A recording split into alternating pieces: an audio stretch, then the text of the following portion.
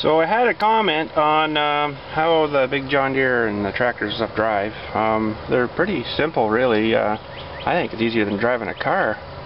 You know. Um, well, basically, what I can tell you is over here is uh, A, neutral, B, and then the C. That's your speed ranges. So, you know, C is for like travel speed kind of thing, and then B is, you know, a little light loader stuff, and uh, you know, like if I was driving through a row or something, I'd probably go in B or something.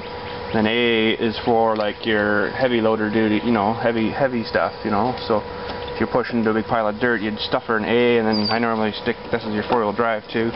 I'd normally pull this up uh, like that, and that locks in the four-wheel drive.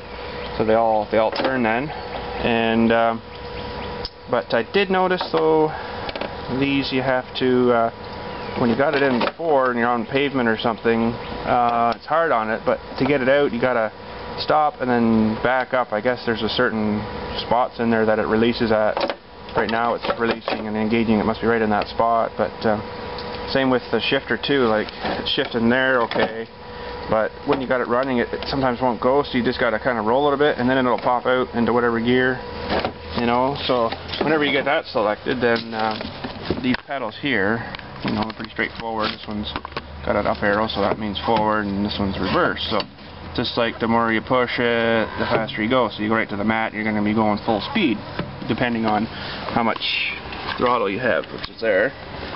And of course, key switch, and that's your PTO engagement there for like my snowblower or something. And these are uh, light switches, and you guys should know what that is. I switched that switch for the what they call creep to reposition and cluster of uh, gauges. You should know that. This is uh, signals, so you have signals if you're on the road.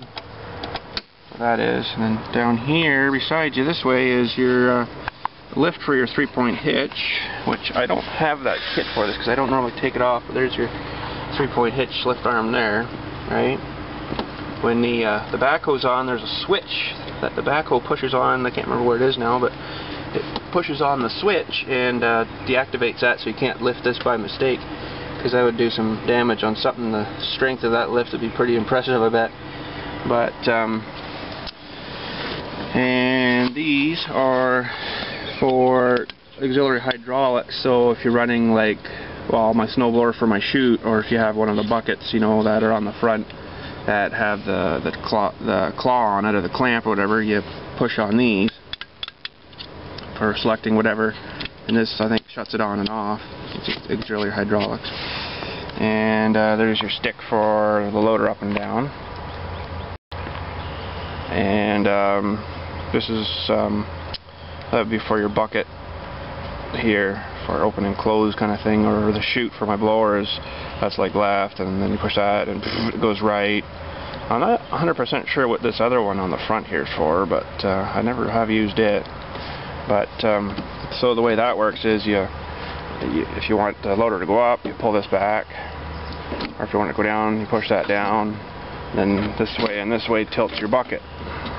So if you want to scrape, you tilt her, you know, and it digs the bucket down, and you drive ahead and scoop it back up, and then lift it up, and so yeah, that's how uh, how this thing drives anyway. So let's uh, fire it up here, and we'll show you the pedals and how I'm using them here. Gotta make sure what gear we're in. We're in C, which is good. We don't need four-wheel drive right now. Um, well, these are brakes here too, by the way. So if you want to do like a brake turn, you hold one and you give it gas and it'll spin around for you kind of thing. Or if you're putting both on, that's, you know, both. You can push this little, little lever down and then it locks both. And that's a, that's a emergency brake. Use get quite a bit. That's the fuel tank. They've integrated it right into the tractor, which is kind of neat. You know, it doesn't stick out another six feet or whatever with a huge fuel tank on it. It's all molded plastic, right? Um, gotta lift our loader up, so that up. I gotta lock those pads down yet. I just hook the bucket on, so now I'm pushing pushing on there. Now we're only running at idle speed, so it's not going very fast, but we're backing her up now. I'll show you controls of how this works too on the, the backhoe.